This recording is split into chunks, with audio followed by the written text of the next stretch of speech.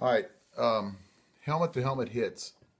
For one thing, I thought they were outlawed. I thought you couldn't do them, but for some reason, in this one youth football game, eight nine year olds, there was this team that was doing it quite a bit, and uh, the ref just sat there with his hands in his pockets, did not throw a flag the whole game, and what I think this team was doing, and I guys, I don't blame the kids and I don't blame the coaches.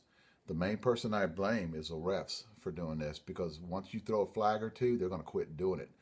But coaches will push the envelope to see what they can get away with. Kids will push the envelope to see what they get away with.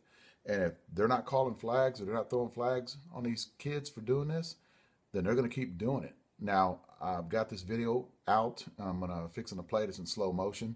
See how many helmet to helmet actually crown hits that you see that they're doing. And what I could see is off the line, they're actually putting their head down and ramming uh, the more smaller kids to shake them up, um, maybe get rid of them. There's a couple plays in here that are really bad. Um, you can actually see that every kid that makes a tackle leads with his head down.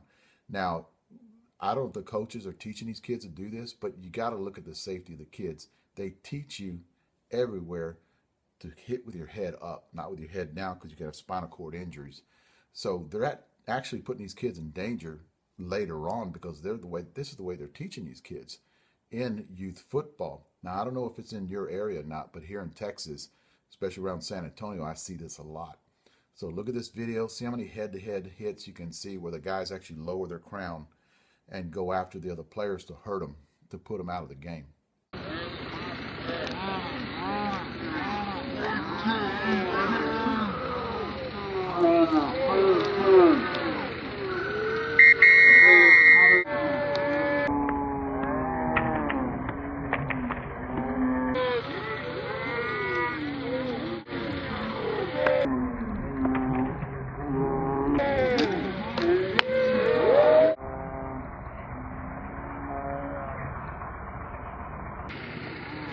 Yeah.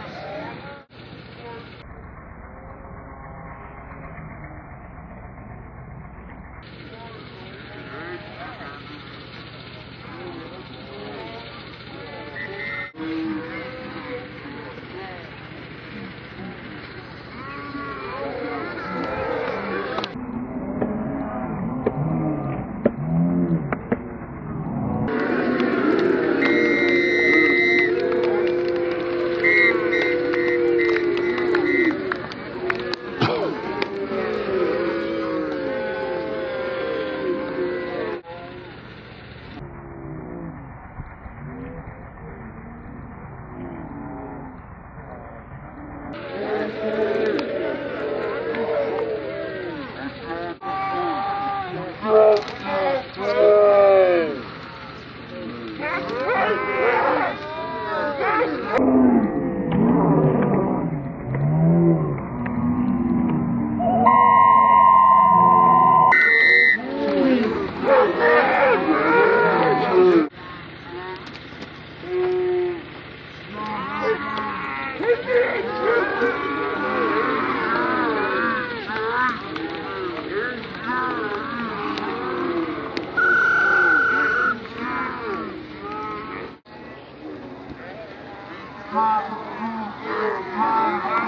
Ei, ei.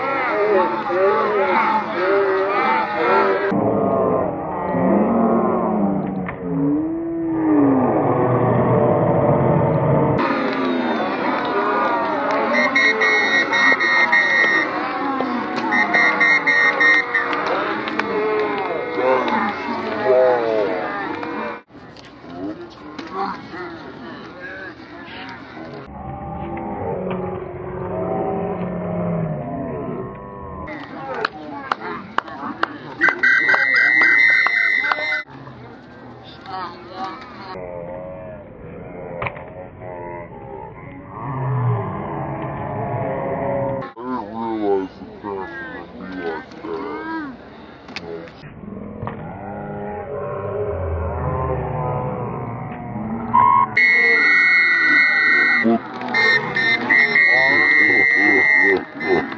I...